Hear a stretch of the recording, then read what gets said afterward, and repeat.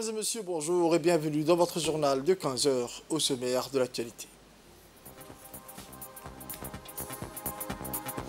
Le vice-président du parti RPP clôture sa tournée dans la région d'Arta. En nouvelle internationale, en Haïti, l'éducation et la sécurité des enfants face à la violence. Les détails dans cette édition de 15h. Le journal au complet à présent, mesdames et messieurs, je vous le disais dans les titres, c'est dans le cadre de sa tournée dans les régions de l'intérieur. Que le vice-président du parti du Rassemblement populaire pour le progrès s'est en effet rendu samedi soir à Arta, chef-lieu de la région du même nom, où il a avec enthousiasme et ferveur été accueilli dans un climat clément, marqué par une nébulosité météo apaisante et rafraîchissante, accompagné d'un groupe de ses camarades du comité exécutif composé des doyens Ali Abdi Farah, de M. Hussein Idriss, de M. Ibrahim Ahmed Abdo, M. Laouta Ougouré, Mohamed Sougé et Saleban Tahir Bile, le vice-président du RPP, notamment Premier ministre, son Excellence M. Abdelkader Kamel Mohamed, a été chaleureusement accueilli par le ministre Younis Ali Ghedi, le président du conseil régional d'Arta, M. Elmebor Adé, les trois parlementaires du groupe RPP, à savoir Honorable Aïcha, euh, Omar Wabri, Djibril Abdullahi, ainsi que des sages et euh, aux côtés des femmes, des représentants de la société civile et des jeunes progressistes enthousiastes, avenants et engagés, témoignant du raffermissement d'un dialogue constructif, constructif pour l'amélioration.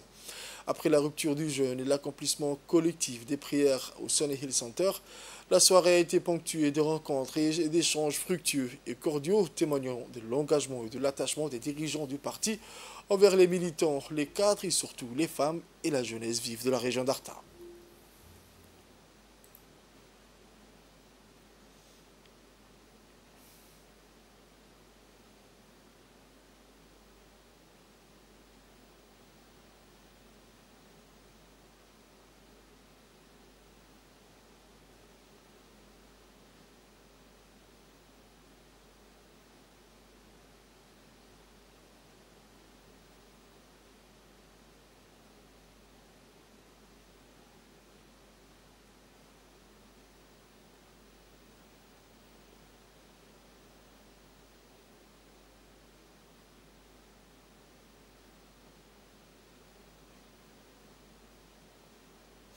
En sa qualité de ministre issu de, RPP et de haut membre du comité central de la fédération du Parti du Rassemblement populaire pour le progrès d'Arta.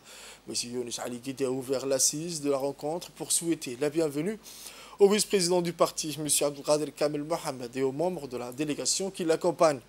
D'emblée, le ministre Yonis Ali Ghedi a demandé à l'auditoire de lire la Fatiha à la mémoire des victimes des dernières intempéries qui ont frappé le, pays, notamment à Karta, Douda et à Demirjog.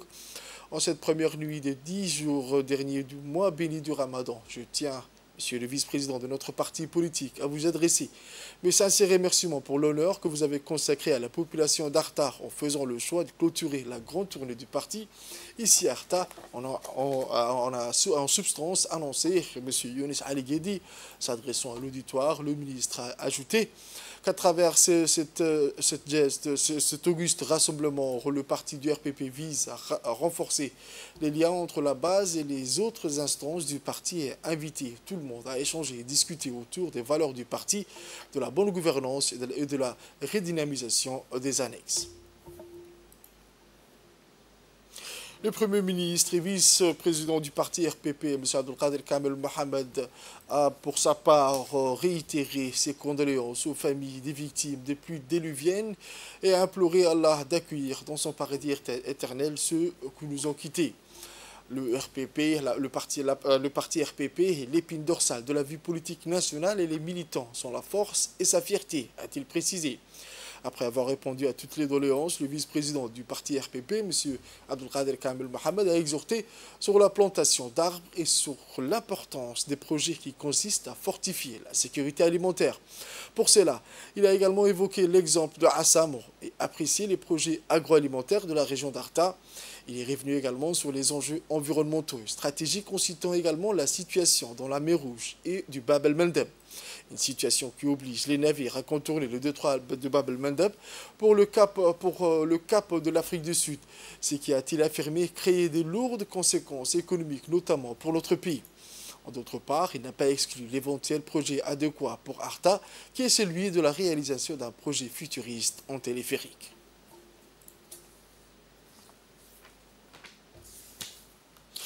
Autre actualité de ce journal, au centre, développement, développement communautaire du quartier 5, un concours de récitation du Saint-Coran a débuté le lundi soir sur proposition du Centre de développement communautaire qui s'est tenu au, CDC de Carteseng, la seconde phase du concours de récitation du Saint-Coran sur cinq jours entre le CDC de Carte 3 et Carteseng, mettant en lice 20 jeunes ici de communautés riveraines respectives âgés de 12 à 17 ans.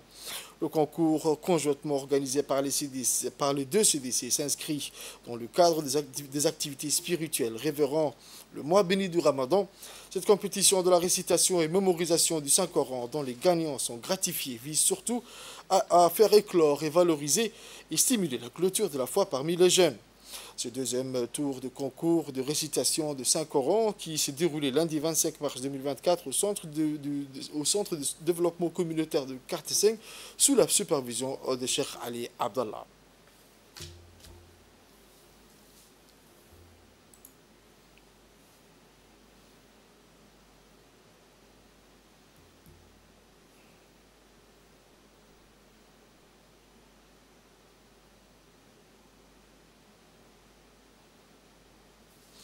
Le centre médico-hospitalier de Tadjoura ne connaît pas de répit d'activité pendant ce mois béni du Ramadan.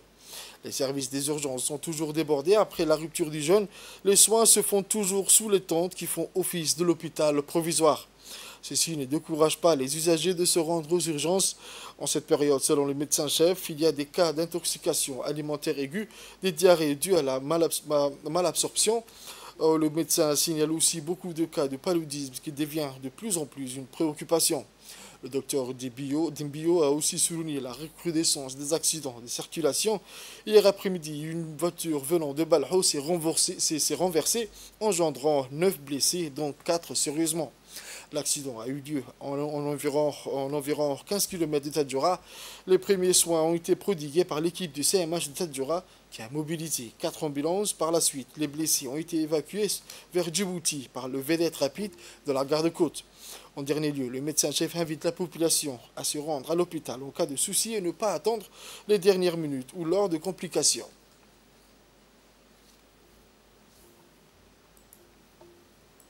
On écoute les impressions du docteur Ibrahim Mohamed Mbio. Maintenant, s'il y a des gens qui ont des soucis de santé, il faut qu'ils viennent à l'hôpital, même si c'est dans la journée. Et la plupart du temps, les, pathologies qu'on a pendant le ramadan, ce sont les pathologies dites aux excès des boissons. C'est-à-dire que la, personne, toute la journée, elle reste à jeun, et après tour, elle mange, elle mange beaucoup, ou bien elle boit beaucoup d'eau, et ça lui fait des petits malaises. En même temps, les activités qu'on a durant cette période de ramadan, ce sont surtout les fièvres. Il y a beaucoup de fièvres, il y a beaucoup de, cas de pathologies digestives telles que les vomissements, les diarrhées, tout ça. Ce sont des pathologies qui sont dites au fait qu'il y a un dérèglement alimentaire. Donc ce que nous conseillons aux gens, c'est de faire attention au régime alimentaire pendant les ramadans. Même si le temps où on mange est un peu réduit, il faut essayer de modérer ou bien de limiter au maximum l'apport alimentaire. Euh, au moins de prendre deux, repas, même si on prend les trois repas, il faut que ce soit les, de manière assez euh, bien régulière. Donc, euh, en plus de ça, pendant le ramadan, on a des accidents de la voie publique. On a beaucoup d'accidents. Pourquoi? Parce que la vigilance est très, très, très baissée pendant le ramadan. Les gens conduisent, qui conduisent en étant à jeun, la vigilance, leur vigilance est un peu basse, donc ce qui fait qu'il y a des accidents, il y a des accidents. Donc nous disons aux gens qui empruntent la route pendant les ramadans de faire attention. Les niveaux de vigilance n'est pas au top, donc de faire très très attention lorsque vous empruntez la route.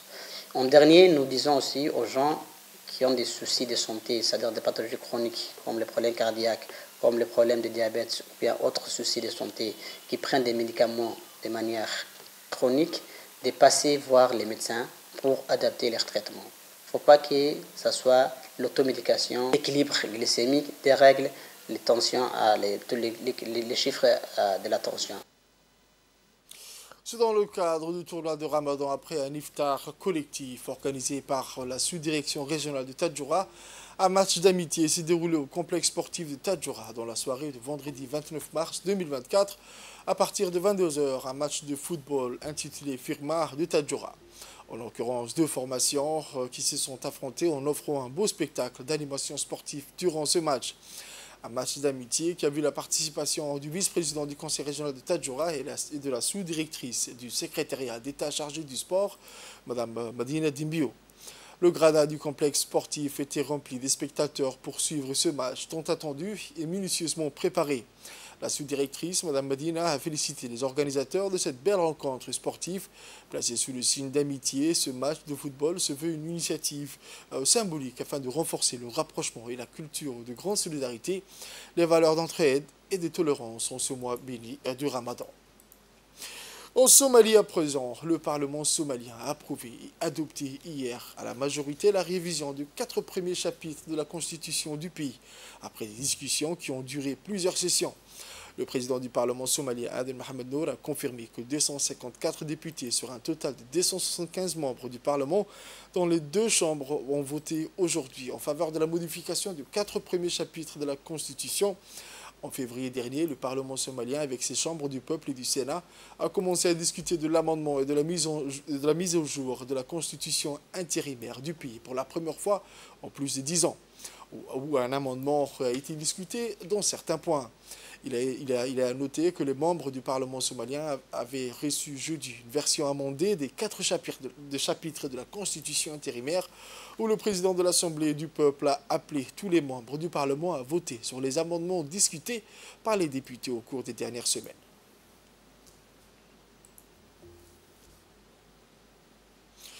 Aux nouvelles mondiales à présent, je vous le disais dans le titre, en Haïti, avec les fermetures répétées d'écoles et les déplacements massifs de la population, les enfants souffrent dans l'ombre de la violence qui frappe ce pays des Caraïbes.